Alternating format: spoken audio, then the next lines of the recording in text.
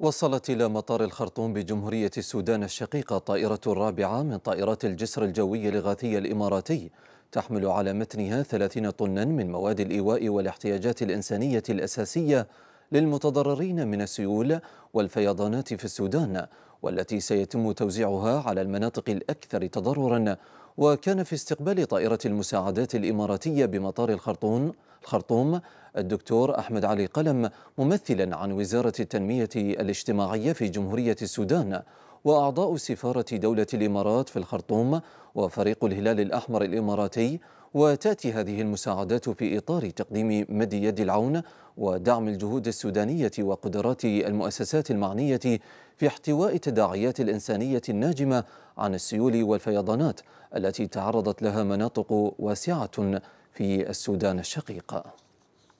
بناء على توجيهات القيادة الرشيدة وامتدادا إلى النهج الإنساني الإماراتي وكذلك تطبيق أفضل المعايير الدولية للاستجابة وهي إغاثة الملهوف تقديم يد العون بغض النظر عن العرق أو اللون أو الدين نحن متواجدين كهلال أحمر الإماراتي نقف صفا واحدا مع الشعب الشقيق السوداني. ها نحن اليوم نستقبل الجسر الإغاثي للطائرة الرابعة من المواد الايوائيه المختلفة بالإضافة إلى الشراء من السوق المحلي. وما ما يخفي عليك ما غفلنا الجانب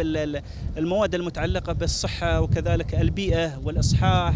وكذلك بالتنسيق مع المنظمات المجتمع المدني نحن اليوم مستمرين بتقديم الدعم للمتضررين جراء السيول ونقف على أهم الاحتياجات.